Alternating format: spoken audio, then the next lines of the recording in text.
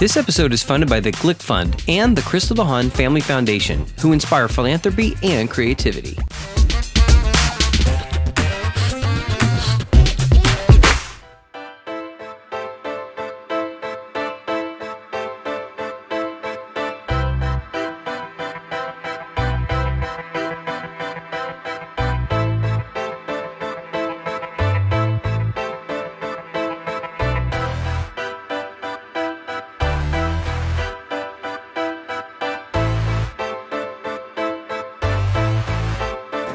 We're here in New York City at the world famous Majestic Theater, home of one of the longest running Broadway musicals, Phantom of the Opera.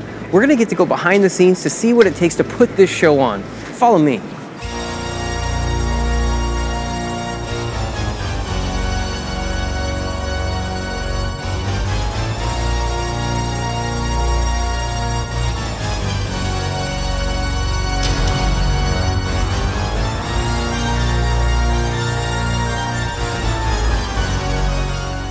We are here behind the scenes of the Phantom of the Opera with Annette Lovece. Thank you so much for taking some time. Pleasure. Uh, can you please just first tell us what you do here at Phantom of the Opera? I am the production production seamstress here at Phantom. I've been in the wardrobe department for 23 years. Wow, so you got some Yeah, experience. Yeah, I got a few things I know about the show. Yeah, I have touched every costume in this building at least five times. Oh, I That's for bet. sure. Yes. Wow. Now, speaking of, where are we? Because since nobody else can see, what, what room are we in? We are in, we call this the stage right quick change room, and it is literally that. We are stage right, and it is where people get dressed really quickly when they have to get on and off stage when there's not a lot, a lot of time. There are times when we have probably 12 actors in here, along with as many dressers. We have hair people, sometimes we have sound people, so this room gets pretty busy. Where do you even start coming up with the ideas and m- Yeah. making all of this and creating it and figuring it out? Right. Well, we our designer Maria Bjornson, she designed the entire show back in the 80s when it was new. She also took into consideration the set design, she did, you know, the lighting, everything works together as a unit, you know. So but she designed all the clothes back then and they're so descriptive that I can see, you know, the placement of each bead and the length of hems like I I can really refer to them and we try to keep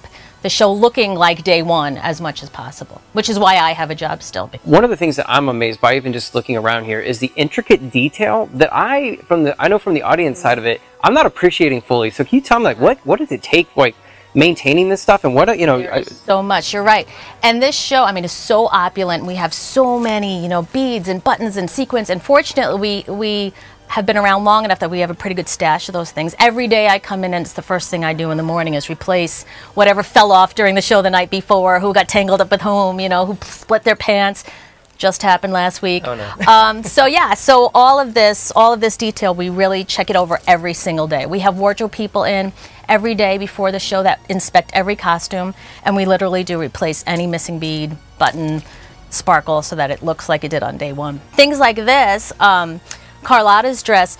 We've had to like change little things over time because we noticed that you know certain beads make too much noise and it gets picked up on the mic, or certain things she kneels on. They were glass, but now they're plastic because they break. So we do tweak a little, you know, little things over the years, but we try to keep it as true to the original as possible. We use color as different, absolutely, than than film and TV. Um, you have to use a lot more bold colors. We oftentimes like will paint shadow into things so that they look like there's more depth.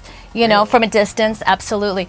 And like I said, we have to also be aware of the sound that things make. You know, things that jingle when you take them across the stage and get picked up on microphones, and um, you know. The, the, the way that they interact with other things on the stage. We can't have people with beads close to someone else who has something pointy, you know, because they'll get caught on each other. So we have to be really aware of not only how it looks, but how it's going to function with what we need to do. And every actor will say, too, you know, it's one thing to learn your lines and your choreography, but then when you put the costume on, it really helps them just become the character. You know, I, I often see people like just stand taller when they're in their suit, or women get their, their posture changes when they're in a dress like this, and it has to, considering the size of the weight of them, the corseting that they have. So it really like creates the full picture once they're in costume. You know, I'll share a funny story. So, the first time I had a dress rehearsal in this skirt, Carlotta starts the show and she has this really big solo moment where I'm coming down stage. I'm the only one on the stage. I'm singing a cappella, meaning there's no music under me, it's just my voice.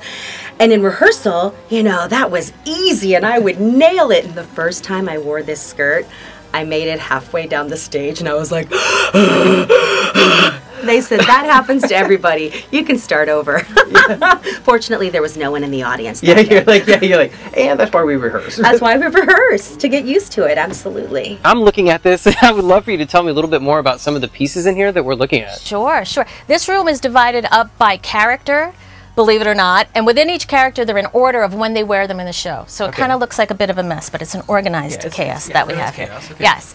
Um, here we have uh, Christine clothes. You know, we have two Christines. Um, they split up the week, so we have two sets of the same exact clothes.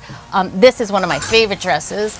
This is Christine's rooftop dress which is beautiful, right? And she wears a big giant cape over it. So a lot of this you don't even get to see how detail, you know, all the details and Yeah, all the I mean- lace and the yeah. The stretch What does something like that weigh? I mean, it looks really I'm gonna heavy. try. Oh my gosh, seriously, Yeah. that's almost like I'd say at and least this ten is pounds. this this is nothing. Some of our costumes are really heavy. Carlotta's dress, we get her in it in this room because it's too big for her to walk around in. She just would never make it through the hallways in that dress. Yeah.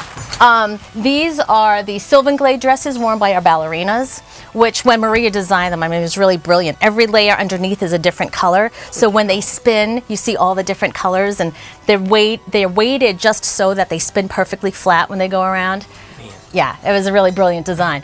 These are uh, the rest of Christine's clothes. This is her um, her uh, mausoleum dress. This fabric was made hand painted for this show back in the 80, in 1980s um, in London when who knew we were going to run this long, right? And Right. now to get it, we have to still go back to the same company to get the same fabric. It is trademarked. It is the Christine fabric. Yes. so like yeah, these are like pieces of art, like in all essence. They really are. wearable. but- They really are. And the fabrics that were chosen in the beginning, you know, we didn't realize they'd have to last for 29 Well, years. yeah. You know what I mean? So we, we really make our, I make an effort to like, make them live as long as they possibly Yeah. can.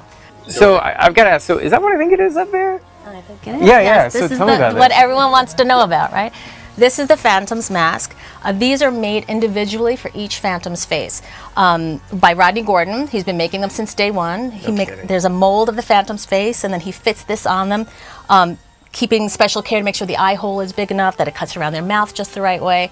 and then Oh, yeah. this wire is molded to their head so that it doesn't move when it's on him because we can't have that Phantom, you know, messing Yeah, and that's the last thing you want to think about. You got this. Yeah. Absolutely. So, and there's a scene where uh, Christine rips the mask off his face, um, but we have to rehearse that for hours and hours to make sure that they don't pull off his prosthetics and his wig and everything with it. so Oh gosh. she takes it off in one very fluid motion, but we, we make sure that uh, that everything stays put Yeah. where it needs to be.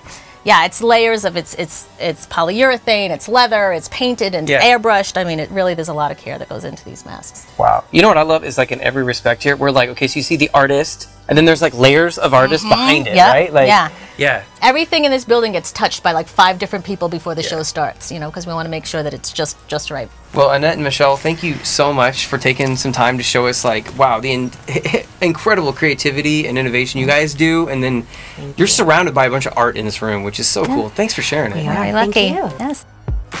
Hey, did you know that subscribing to our channel is one of the most epic things you can do? That's right, subscribe now, share our episodes so that we can actually make more of these things. I'm not gonna lie, I love showing you where creativity and innovation are happening. Get on board and be Artrageous.